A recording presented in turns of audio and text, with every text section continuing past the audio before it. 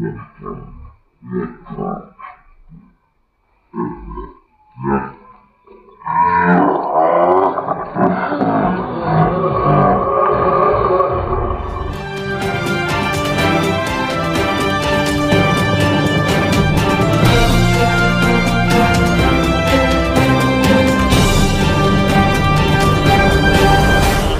Assalamualaikum warahmatullahi wabarakatuh Sobat semuanya.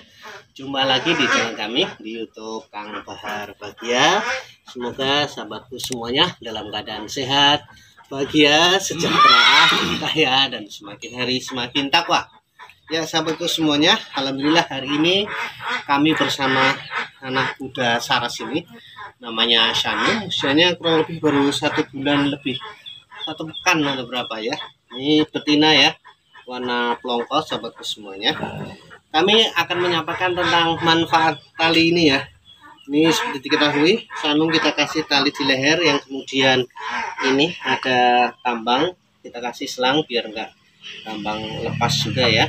Tujuannya ketika dia berjalan nanti akan keinjak sehingga otomatis ketika terinjak si sanung ini akan berhenti akan merasa ada yang mengendalikan namun tidak hanya itu aja ya sahabatku semuanya. Uh, maksudnya tidak selesai treatmentnya untuk agar kuda ini kenal tali. Tidak hanya sekedar dikasih tali selesai, tidak. Ya, tetapi juga perlu di sering seperti ini, dipegang, dibeli-beli, ya, dibeli-beli sini, mau pengen beli sini, beli-beli seperti ini, sini, sini, sini, belinya sini.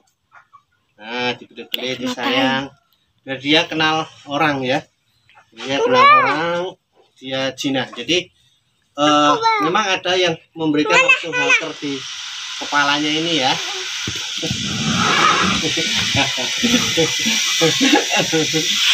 Wah, ada yang memberikan halter di kepala langsung. Cuman kalau di kepala itu kita semua lihat ininya ya. Tidak sakit nggak apa-apa. Nah, kalau lihat pakai halter itu hanya ketika kandangnya itu kandang tembok ya. Jadi kalau kandang tembok sehingga nggak lari ya, aman. Ketika lari dia nggak akan kejirat tapi kalau kandang di tempat kami kan hanya sekedar bambu ya. Kalau sekedar bambu kadang kalau kejirat di halter ini bisa tergantung. Jadi kepalanya bisa di atas kayak itu nggak bisa lepas. Jadi eh, untuk dipakai halter atau tidak itu lihat kondisi kandangnya. Kalau kandang tembok silahkan pakai halter langsung ya. Tapi kalau masih kandang bambu biar tidak terjerat apa di ini pakai eh, apa cukup dengan tali di leher seperti ini. Tapi tetap jangan lupa setiap hari usahakan paling tidak dipegang sehingga kuda ini akan terbiasa dengan pilihan manusia. Jadi ya seperti ini ya. Kita kasih sayangi kuda lama-lama akan tahu lama-lama akan jinak ya Sanung ya.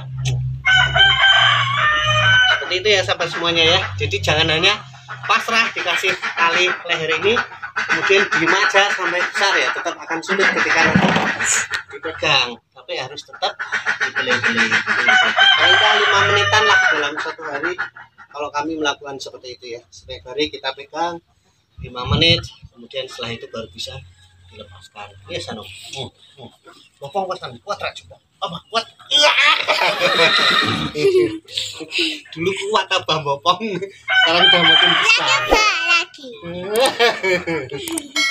Ya senang Nah, alhamdulillah demikian sahabat semuanya. Tetap bahagia, tetap berkuda mana olahraga sunnah lainnya dan jadilah soft ke depan dalam kebaikan. Sukses dunia akhirat. Assalamualaikum warahmatullahi wabarakatuh.